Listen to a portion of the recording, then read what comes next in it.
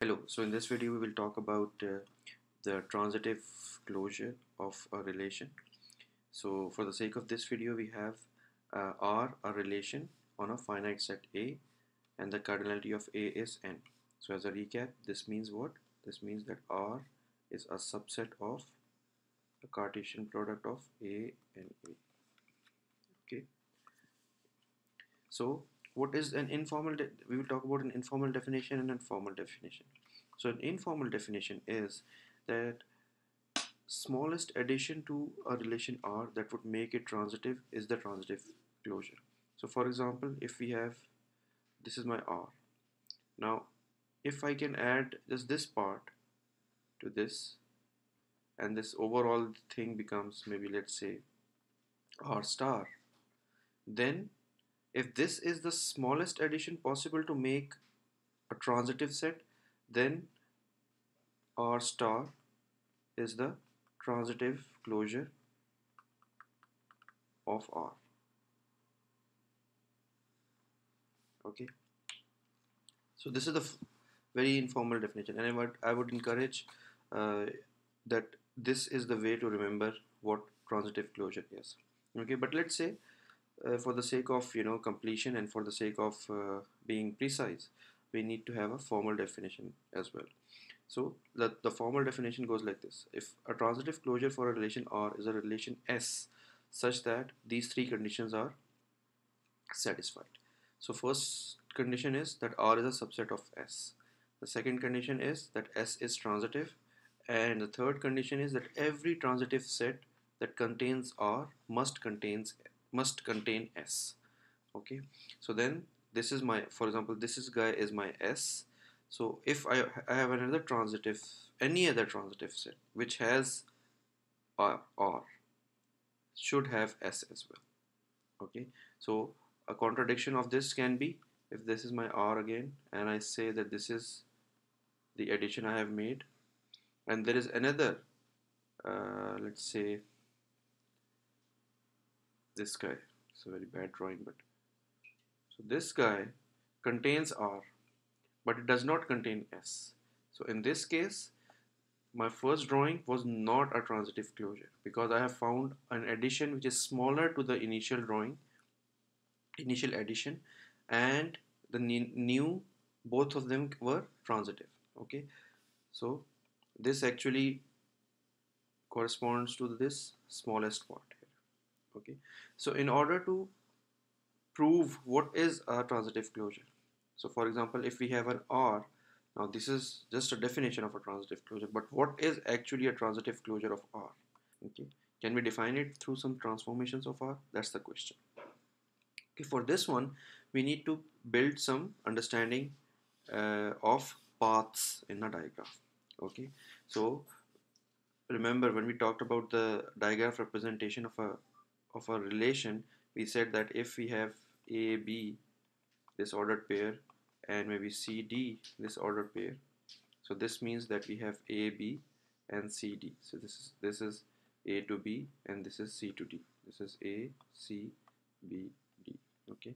So this is what it means. Whenever we have an ordered pair we in a, in a digraph representation we have from source to destination and edge a directed edge. Okay so the theorem says a path from A to B exists in the digraph of R if and only if AB is in R to the n. Okay, so this is the theorem which we will need to get to actually the transitive closure of R. Okay, so let's quickly go through the proof of this. Okay, so in this proof we use mathematical induction. Okay, so base step base step is n is equal to 1. What does it mean? A to B exists in the digraph of R if and only if AB is in R, okay, which is true due to definition of digraph.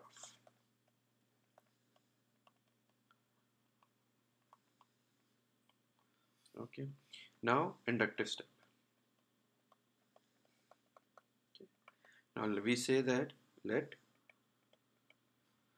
uh, the statement is true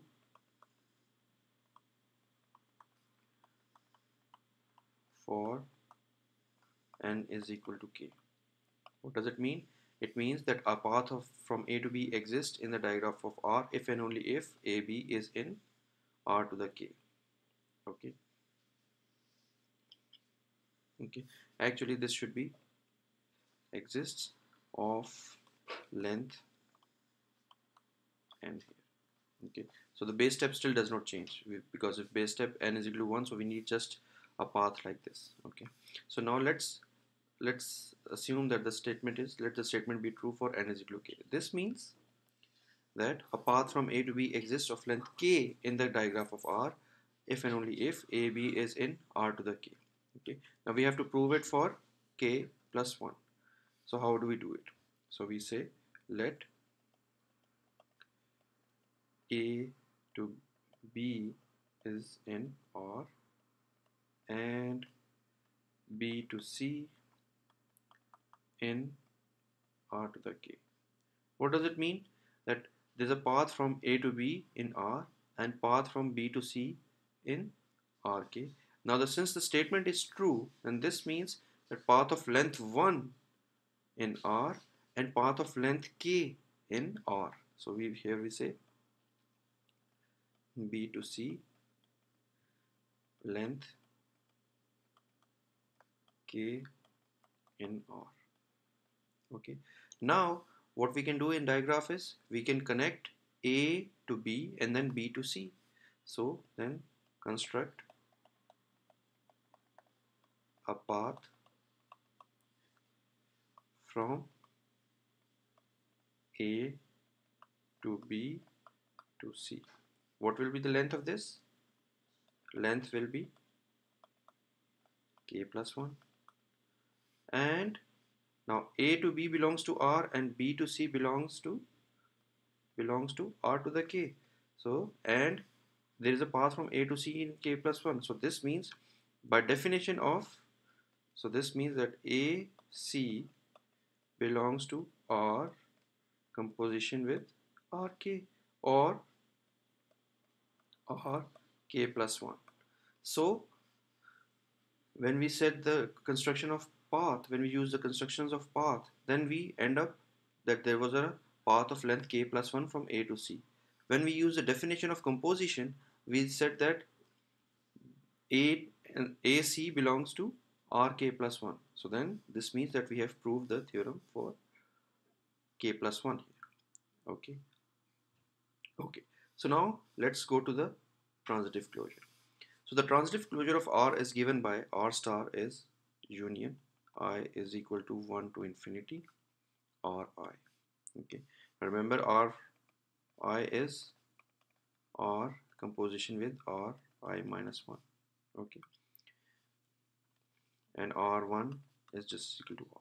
So this is just a reminder here. Okay. Now let's go to the proof. Now what are the three conditions we have to check?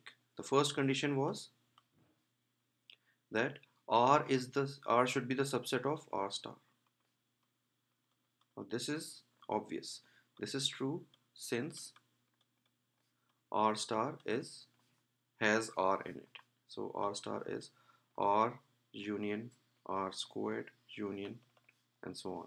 So R star has R in okay. Second condition is what? Second condition is that R star should be transitive. okay so is r star transitive so let's see let's see so we say let ab belongs to r star and ac belongs to r star right so this means that path from a to B exists in R. This means path from A to C in R.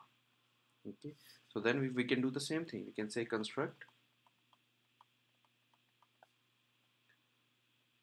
A to B to C. So this means A uh, so sorry this should be B to C so then we can say A to B to C and so this means A to C exists now since, A to C exists then this means AC belongs to R let's say M. So depend on the length of the path from A to C. If the length of length from A to C is M then A to C AC belongs to R to the M. Okay. So since this belongs to one of them so this means that AC belongs to the union of all all of them correct? So this means AC belongs to this. So this means that this is transitive now let's talk about the third part. We say that let S is a superset of R and S is transitive. Okay? If S is transitive then this means what? Remember we earlier we proved that S this means that S to the N is a subset of S. Okay? Which means what? Which means that S star which is equal to i is equal to 1 to infinity si this should also be a subset of s. Because all of them are subsets of s so their union should also be a subset of s correct so now since r is a subset of s can we say that r star is also a subset of r s star can we say that or not I think we can say that. Why? When we say R is a subset of S, it means that every path in R is present in S. Okay, so uh, so paths of S contain all paths all paths of R. So then this means that S star should also be a superset of R star. Correct? Okay, so then let's say we have R star is a subset of S star is a subset of S. So this is what we want to prove. If S is transitive and S has R, then S should have R star as well. Correct? So then this means that R star is the transitive closure of R. now a small condition, a small question comes that are we supposed to check to r to the infinity? The answer is no. We only need to check need to need to check only till i is equal to n where n is the cardinality of the set on which we are taking the relation r okay so this actually this can be proved. This can be proved using the uh, pigeonhole principle, if uh, and very easily can be proved. Okay, okay. So this is it about the transitive closure, and then uh, there are many algorithms, especially the Warshall algorithm, which is used to actually calculate the transitive closure. Now this is just the definition. This is just the definition that the transitive closure of R is the union of all its powers uh, up to n and where n is the where n is the cardinality of the set where we started from okay. So this is it about the transitive closure. Hope it was easy to understand and thanks for watching. Hope you like the video